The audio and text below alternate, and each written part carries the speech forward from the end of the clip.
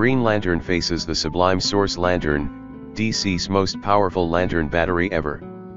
The Green Lantern's mythology just got a lot more complicated with the debut of the Source Lantern. The Green Lantern Corps' new rulers, the United Planets, have made a lot of changes since it took over and they're doing whatever they can to enshrine their power.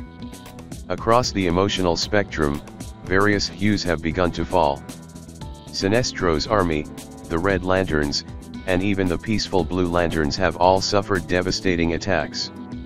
The United Planets finally reveal what they've been planning as Hal Jordan discovers the mightiest central power battery he's ever seen in his life.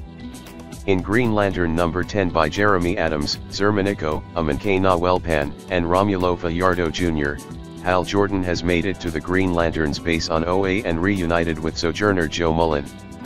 However, Jo is insistent that the two not use their power rings, otherwise they'll be discovered by the Ring Hunters, the United Planet's elite guard. Instead, the two lanterns travel by foot through various ducts and shafts until they make it to the secluded Resistance Corps base deep underneath OA's surface. Hal reunites with his old comrades 2-6, Salaak, and Kyle Rayner and the Resistance Corps brings Hal up to speed on what the United Planets have been doing.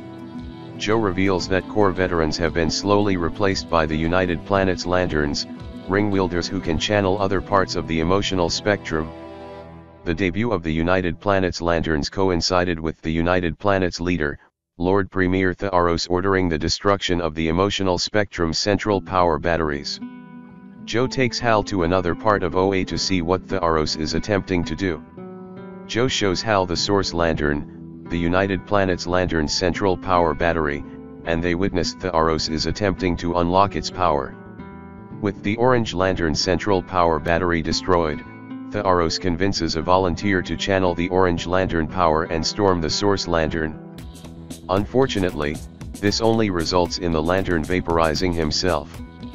Theros expresses disappointment that the United Planets recently acquired orange powers didn't unlock the Source Lantern power, but resolves to continue the experiment the next day with a stronger candidate.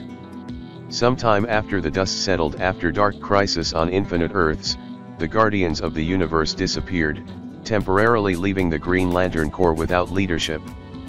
However, control of the Corps was left to the United Planets, who immediately began enacting some bold and controversial choices. Citing the numerous dangers Earth presented, Lord Premier Theros placed Sector 2814 under strict quarantine and reassigned every Green Lantern from Earth to a new duty. Unfortunately for the Green Lanterns, this change began one of the most tumultuous chapters in Green Lantern history.